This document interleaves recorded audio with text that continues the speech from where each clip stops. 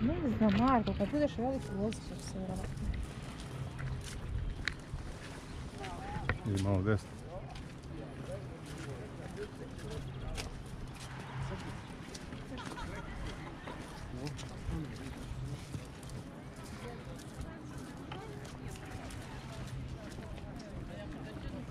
Luka. Ako se krene da. Pa poslije di sečem da pošaljem svoj. Vidi broj. Papo, Mali. Šta? mogu sljedeći mjesec. Nije, ne budi naporan, malo čovječe.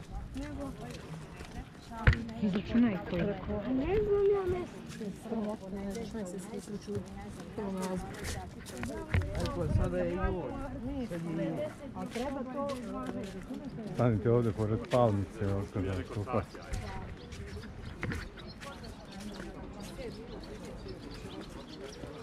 Deco, e.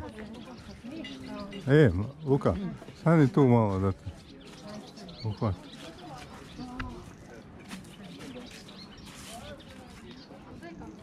Dobro, sad i ja malo da priđeš vama. Reci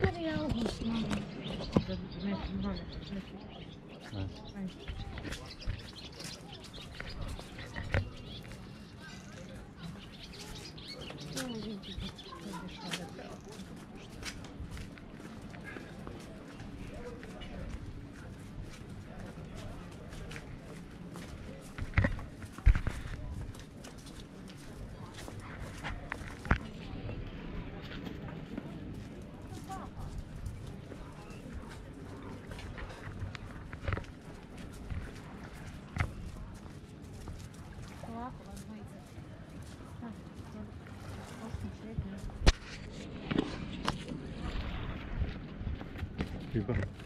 Ось це. Ага. Школьки там на світло. Красиво.